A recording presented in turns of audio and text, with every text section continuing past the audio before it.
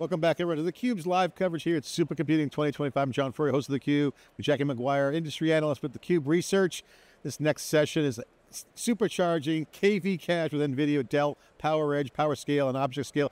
David Noy's here, Vice President of Project Management uh, with Dell Technologies. David, great to see you. Thanks for coming on. Thank you for having me. Uh, first shout out for um, uh, PowerScale, your baby since 2012 on the product side. Congratulations in the middle of all the action. Now, Absolutely, yep. So innovating fast. Props to you and the team. Um, storage, obviously, we've seen the evolution. We've covered on the cube since we've been here 16 years covering it.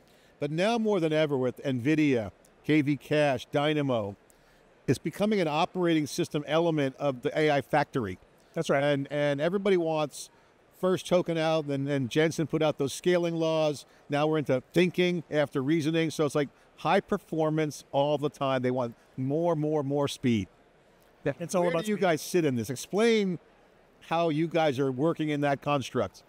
Well, as you know, Dell has AI factories. So it's a Dell AI factory for NVIDIA. Very popular solution. It's a holistic solution that includes servers, networking, and storage. I focus on the storage part, which is how do we get that data to our customers' uh, GPUs as fast as humanly possible. And to your right, it's all about speed. Look, in the last 18 months, you brought up my baby PowerScale. We've improved the performance of PowerScale 2x in the last 18 months, and we've got line of sight to improving that performance by doubling it again over the next 18 months. I mean, we're hearing 2x, 10x on the NVIDIA side. You're starting to see things like the KV Cache Dynamo, you know, the switches inside to scale up with the, in these large systems, and more data is coming in. There's only so much memory you can put stuff in. Yeah, that's right. And the models are big, but there's also small models. So you have all these nuances around I call it the system software kind of challenge. How do you manage it? What's yep. the software? How does that work? Is it close to the chips? Well, there's a lot of things that we can do to speed up performance. And it's a combination of factors. We look at how do we make our systems run better on the servers that they run on, because storage is just software running on servers with media. So we look at holistically as a system, to your point, as a solution, how do we go faster? And then there's things that we can do in the software itself. You brought up KV Cache, great example. So maybe we'll start with the servers and talk a little bit about what we're doing there. Um, tight collaboration with the PowerEdge team. As it turns out, Dell has a great server portfolio. Yeah. So we know that uh, our customers want to be on the latest and greatest uh, servers. They want to have the latest and greatest components, network cards, memory, CPU. So we are in collaboration with our PowerEdge server team to build extraordinarily optimized solutions to drive data as fast as possible. To so you collapse that wall between right. server and storage. Absolutely. Can you just, while you're on that topic, share your role in um, Jensen calls it extreme co-design because these systems, these co-designed systems, yep. isn't just like here's the reference spec, deliver it. It's like really integrated. It's really integrated, and when we, we, we have a tight collaboration between the storage team and the server team. Uh, we have launched our ObjectScale. You mentioned the object storage product, and we also announced a coming of our PowerScale product running on the PowerEdge R7725 XD. That's a high performance store, uh, server for driving extremely fast per node performance into the GPU. And by the way, it's not just about getting performance, about getting efficiency, because the more that we can drive performance out of the server, the less number of storage nodes you need. Mm-hmm. So if I can double the performance of each node, then I can cut the node count in half, and that gives you energy savings as well. And the other thing that's come up this week a lot of it, it's been a preamble going into the show, but GPU utilization yep. has been a big topic. Yeah. So this fits right in the narrative of PowerScale and the work you're doing because I won't say offload because that's been kind of been an older term, but they're kind of offloading memory. It kind of is an offload.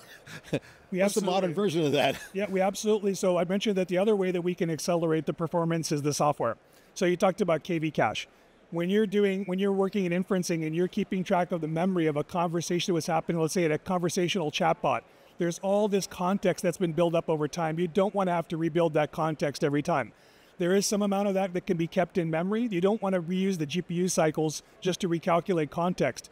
If I can extend that memory onto the storage with direct access, so we have we've announced integration with uh, vLLM and LMCache to do using the NIXL transport protocol. This is a protocol that allows the GPU to speak directly to the storage to save all the previous context of your conversation so you can have longer memory and not have to constantly do recalculation. That accelerates your time to first token by 19x. But for people who are not familiar, uh, KV Cache, I'm going to try to create an analogy because we have a huge global audience and not everybody may know what KV Cache is. Yeah. It's kind of like the court transcript in a trial, right? It's Yep. like all of the different information, and then at the trial, there's an outcome at the end of the trial. Yeah. And so you want to be able to use that case law for everything else you're doing without having to relitigate every single time. Absolutely. Right. And So it's be- and it's kind of like because human memory doesn't really work that way, right? Human memory is very fallible, but we're trying to create this kind of base of context that's, um, I guess you wouldn't say it's immutable, but that is consistent because otherwise,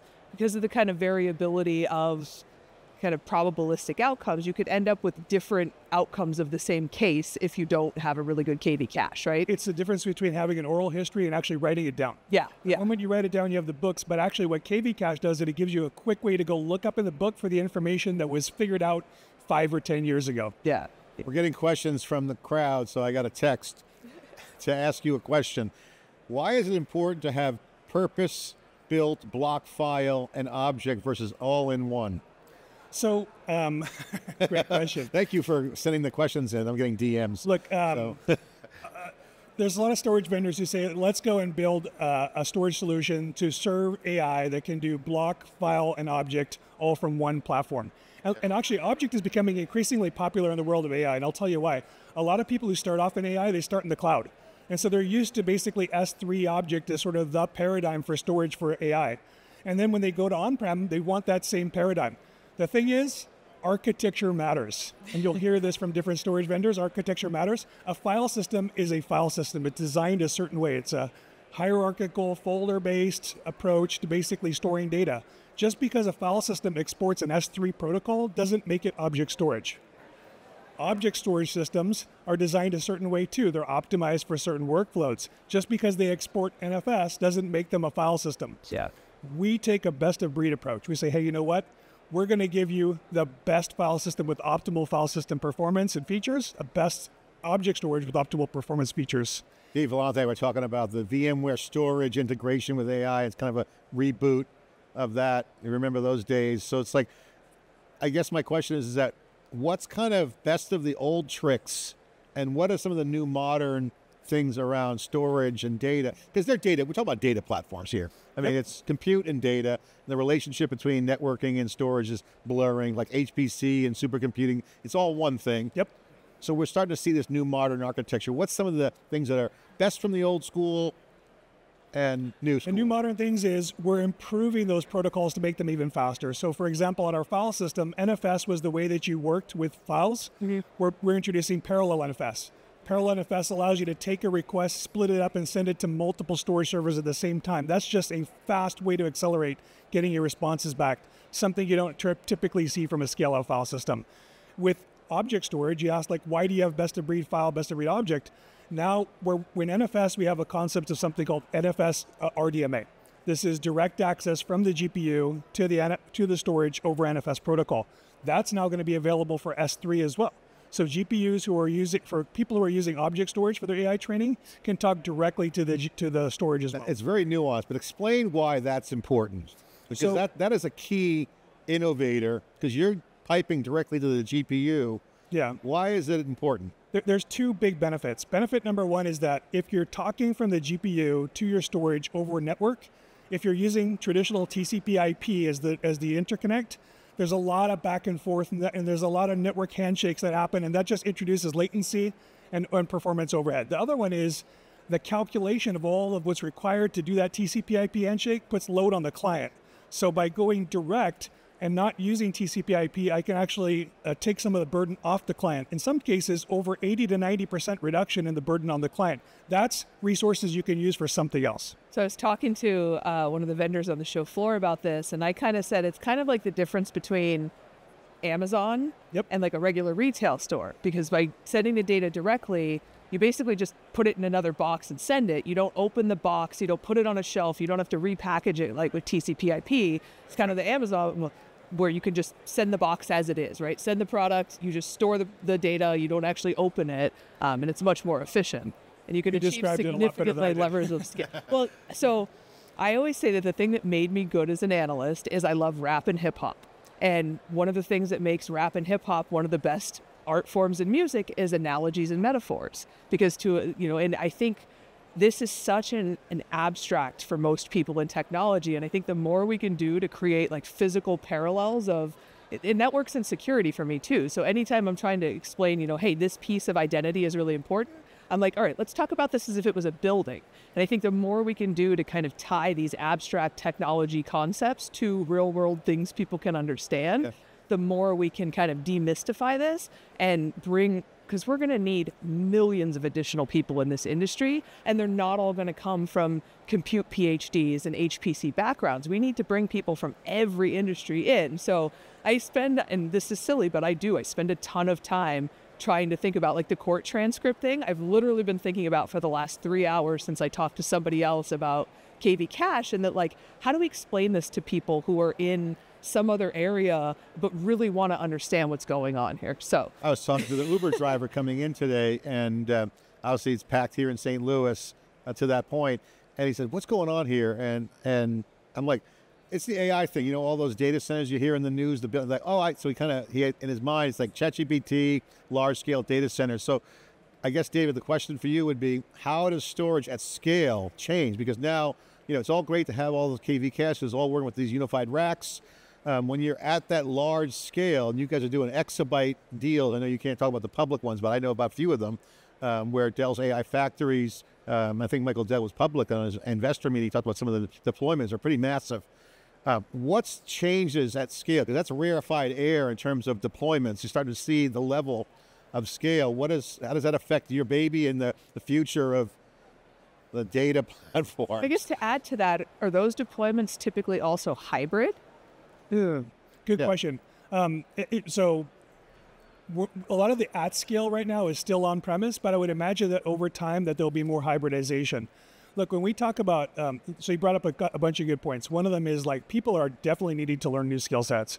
Uh, when you think about we're buying a Dell AI factory for NVIDIA, right? I'm going to deploy it. I went and I bought it because everybody's using their budget right now to go buy these things because it's like the hot thing. And then suddenly they're finding out they need to skill up. They need to learn like, oh my gosh, now what kind of software do I put down? How do I use it?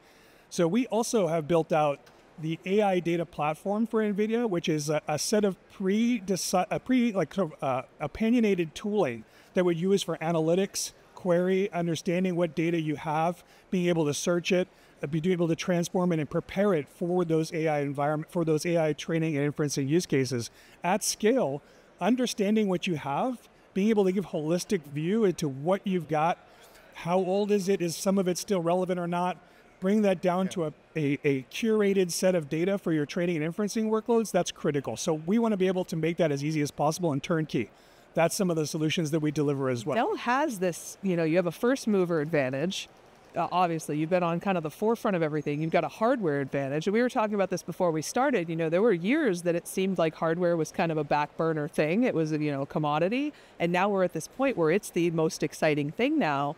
Um, and then with this factory one of the things that really struck me um, at dtw when we were you know looking at the ai factory the first time is the efficiency Yep. Because when you com- you know put different components together that work together but weren't designed together, that's right. They work, but they're not efficient. And then when you look at the AI factory, and when all these components are designed to work together, the energy efficiency you get, the throughput efficiency, the data efficiency. So, what do you feel like that first mover advantage gave you a head start on this design, this co-design with NVIDIA? Yeah, it's super. You asked a great question, and I'll, let me let me combine that with the earlier one about exabyte scale.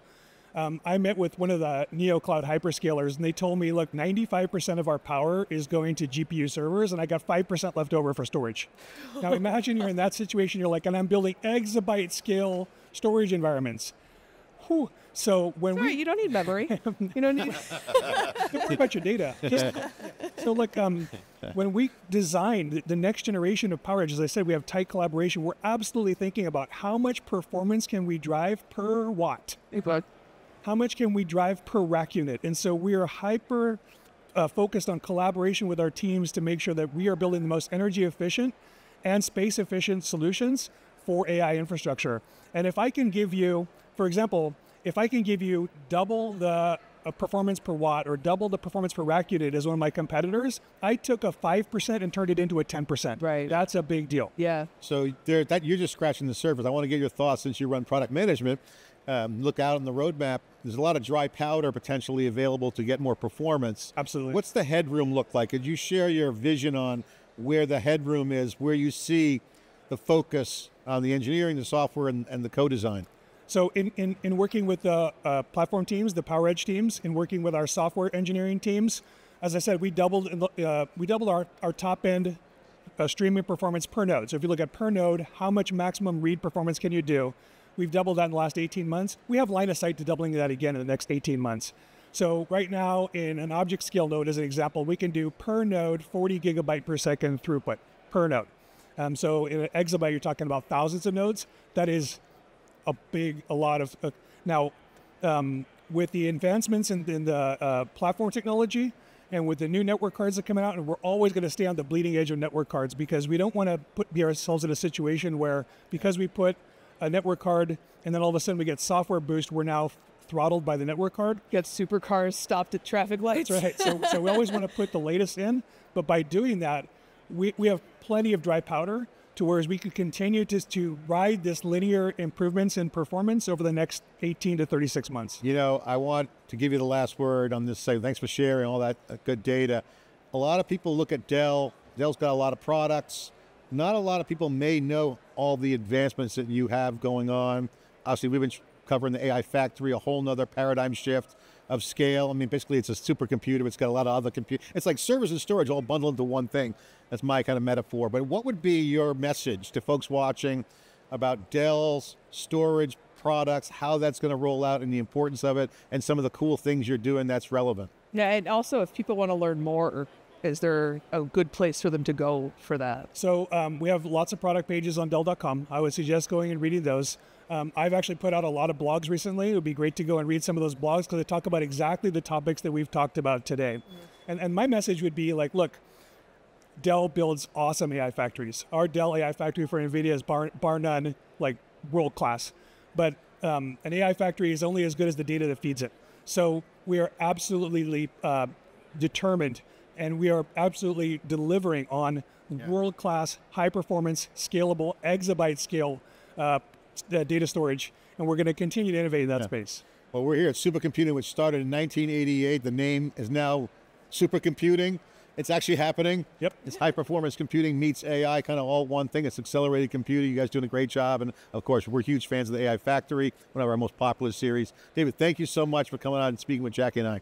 Thank you. Thanks for having me. All right, I'm John Furrier with Jackie McGuire here in the Cube, live coverage. Supercomputing 2025. The systems are rolling out and they got to perform great. We're doing our part to keep up. Thanks for watching.